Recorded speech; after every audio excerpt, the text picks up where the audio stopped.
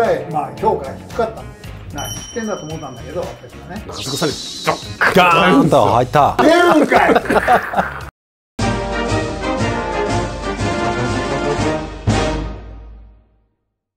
高校時代左やってた。やってました。だから外れたんだよ、うんちょっとき聞いたんですけどね。うん、私担当でお前佐々木と一緒だろ？佐々木の一個上なんですけど東高校はい。うんそうそうそう。え中塚さん入れてくれてたんですか？入れとったけど膝が悪いから。手術2あ回してこれダメだと思ってあそう。やった。なんかちょっとヘッドヘッドヘッドスライディングかなんかね。2回手術して。ああ。れな中塚さん担当で？本当だよ。あの時えな B 杯だったんですか？え？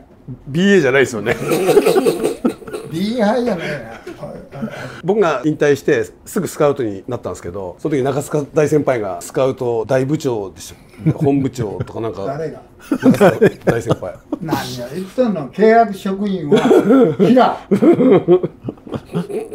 中塚さんがいて。でまああのスカウトって、あの他のチームは分からないですけど、A とか特 A とか。ランク付けね。ランク付けあるんですよ。AB とか、AB の次が BA でしたっけ？BA ほんで次が B BH B BH B 杯 B 杯 B 杯 B 杯っていうのはどうかな？伸びるかな？どうかな？っていう。一応このレベルにいるっていう。僕高校の時 B 杯ですかね。B いやもう覚えてないけどね。やっぱりね BA か B 杯だろおー。目立ってたんですか？やっぱり。やっぱりあのなん。かやっぱパンチ力あるしね。東高校の中根ってやっぱり。おおすごいありがとうございます。中塚さんほんで僕あのスカウトになった時に日大担当だったんですよ。ああ中塚さん。日大うん日大。でスカウトになってすぐの時に法政の担当だったんで大学の母校なんでオープン戦あったんですよ。2月だか3月に僕見に行ったんです初めて。そしたら日大との試合で身長190ぐらいある左ピッチャー。ああ150キロぐらいいってかの有名な。行くわけですよ。おうスツッパスおうおパう。え、ちょっと待って、俺すこの間まで、この間まで現役じゃないですか。この間まで現役で、こいつプロ、今でもプロで通用するぞ、このピッチャーと思って、目の前でずっと見て、ガン持ったら150連発するわけですよ。お。ほんで、もおうう、いいバッター、角度あって。高性のガンガンいって、これ中塚さん絶対知らねえわ、つって。中塚さんに、こんなピッチャーいますよ、つって。電話したんですよ。こんなふざけんな。今年の目玉だって言われて。お前ちゃんとリスト見とけって言われて。これめっけたと思った見つけたと思ったのあうすごいピッチャーがいるそりゃそうだよなと思って。えでまあ日大中澤さん担当でその前に日大で言ったら村田修一とかね2年上なんだよね年がえ週一の方が上？週一上ですそれでねあの時はちょうどねあの頃ねキャンプにねアマチュアのね大学社会人の有望選手を5人ぐらい各球団に。はいはいはいはい。ああそうだそうだ。来ました来ました。来たんだ。連載その時、村田修一が来たのがもうあれだったの。その時もうね上我々知らないところでもう決まってたみたい。あ1番2番っていうのはあれあれあの時は逆指名ですよね。そりゃそうです。逆指名あり1番2ですよ番でも決めてたわけ、はい。我々知らないやつを、ね、それでとにかくもう和製大砲がもう熱望しとったわけよ、うん。スカウトとしては、それであのバッティングを見た時に、まあ、むしろ現役の選手より全然迫力があったんだ、うん。あこれしかないなと思ってキャンプ終わった時にスカウト会議で誰1位にするって言ったらいやいやこれこれに決まってる。ちょっと待ってくださいよとこうなったのえこれに決まってるっていうのはあ別の選手、はい。お前の後輩で。これであ。村田修一がこれどうなんですか？って言ったらみんながもうもう申しあとの 2, 2, 2人ぐらいのけたほどか全部が申し分ございませんとはいはい。あじゃあこれにしましょうと、はそういう選手だ。はい。えじゃあその前は僕の後輩だったわけですね、ん。だって高木さんも見てますもんね村田修一あれ大学えあの時3年生？4年に上がる前ぐらいのキまあ、とャンプですよね,、ね。荒っぽいバッターだったあの多分見てるよもな。うキャンプ来てますもん。ーだからキャンプあれ見てもう決めたわけよ。うん。あのスカウト部としては、1週間ぐらい来てたのかないや昔1週間ぐらい、うん来て来てたねました。よね学生。あの時周一いたもん。いいましたよね、その前がもう来たんだよ阿部っちゅうの。ジャイアンツの阿部あはいはいはい。あれも来たんだよ、はい。だけど手が届かなんだというか。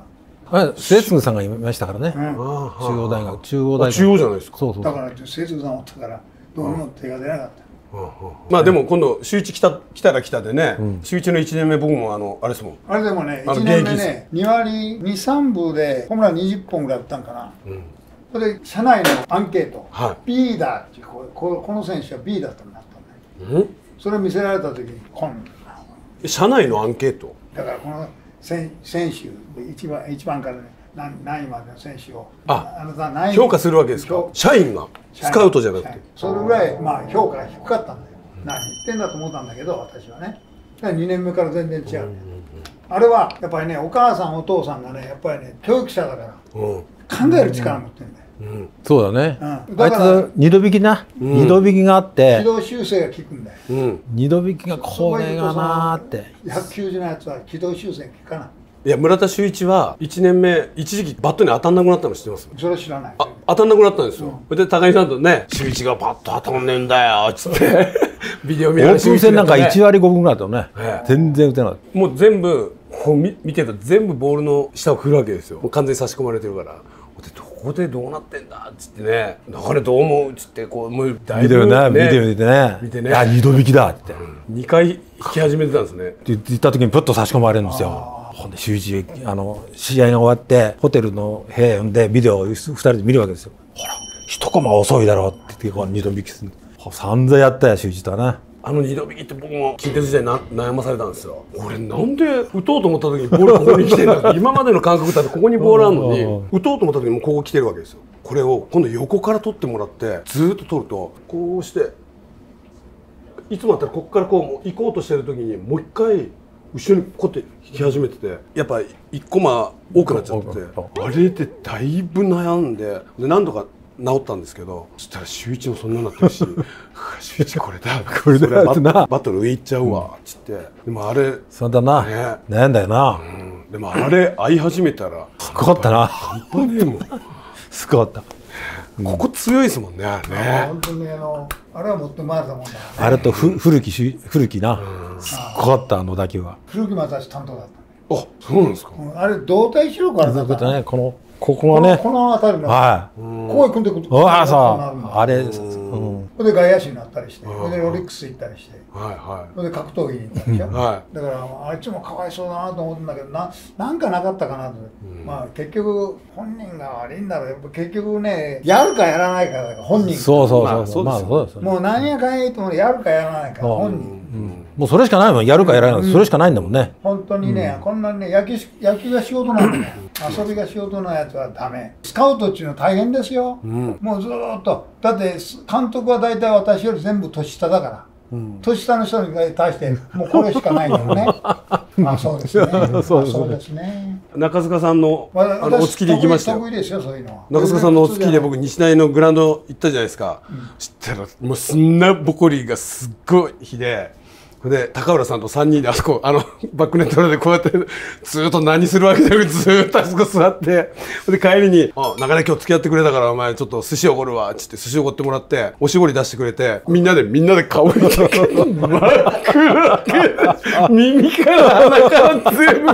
もう春一番を吹いたらえらいことだからね。ね。もう一枚くれなんつってもう真っ暗動乱塗ってもうえらいことよこれ。今はね人工芝で綺麗だけど。うん。はい、でい今なんかまたスカウトの仕事のあり方もちょっとかだいぶ変わってるじゃないですか。昔はもうあの自由枠だ希望枠だあー。って大変ですよあん取れなかったらね。担当は。あもうだからその村田那須の時はもう日本大学の野球のスケジュールに合わせて動くうんそうですよもね会社関係ない生産の時しか行かない。はいはいはうん。とにかくそんな状態だいでで2人とも取れたじゃないですか先輩そうするともうベイスターズボーナスがもう中塚さんにドッガーンと入った。なあ。お前そんなことお前スカウトしとって分かるわ出るんかい。出るわけねえだろお前。でも中塚さんあのボーナス入ったっつってご馳走してくれましたよ。バカ言ってんじゃないよなことあるわいけねえだろ。やいや本当です本当です。あのご馳走ってあのなんか焼き鳥だかな なんかご馳走してくれましたよ。知らないけどそんなこと金額聞いて僕ひっくり返ったんですマジっすか？っつって。あんだけやって。っつってだって中塚さんもう海の方ですもんね家ね。あっちの方から僕の家からもうまあまあ西大ぐらい遠いのに。2時間だか3時間かけて行ったんですよ。どこへ日大にね日大遠いね。日大遠いんですよ。日大船橋で降りてねそれでなんとか線に乗ってミュモミっちゅうあそうだそうだ見もみだ。ミュモミで降りて歩くんだけどね。ね。それが日課だったね。ね。よくまあ本当に日産したんですか？日大に。日産も日産。ああそう。えいやーでもあの当時の監督誰でしたっけ？鈴木宏ああ鈴木さん今鹿島学園の監督してるでしょ？うん。で甲子園出したんだよ。ああすごいね。すごいよね。うん、すごいですね。僕はスカウト時代面白かったですよ。中坂さんがあのパソコンで 生産するんですよ。生産。あの経費だから全然できないし、メールも何にもできないし、こうやって。指で。それで電話かかってくるんですよ。9時10時ぐらい。で。中根ちょっとお前の教えてくれ。っつって。電話しながら中坂さんが近所の公園まで行ってパソコン持って近所の公園でなんかこんなこんな。そうこんな。あの DNA になってからあファームのコーチやってる時に毎日毎日報告。こうやって2時間ぐらいかけてパッと変なとこ押したって消えちゃうんだ全部。うわ消えたーみたいな。あれは大変だったんですよ。ね。選手見るとこじゃないよ。パソコン打つのにだよおかしな時代になったよね、ちょっとそこは大変ですよね。だからそのね、まあこうやってこうやって打てる人だってなんてことないと思うんですよ。いね。いや僕は全然できないです。こうやってねやれりゃ。でもねそのおかげでうん。パソコン打てるまあ習えたじゃないですか、うん。そう思えばそうっすよね。いいんだけどでもああれ無駄ですよね。多分読んでないです。送っても 誰も いや今は今は見てんじゃないですか。見てるから当時は見てない。当時当時は当時は。だってパソコンで報告を書いたことを聞かれるんだもん現場で「まああれどうなの？え？報告書いてます」っ てあ読んでねえなと思ったのあー今日は、えー、新高円寺にあるセノンスポーツゼロに来ました。ホビークラブベースボールメディアの、えー、ここを使わせてもらってます。こんな施設もあります。疲れた後は酸素カプセルで癒しましょう。じゃあね。一緒だわ。セノンスポーツゼロにスピードガンが導入されました。101!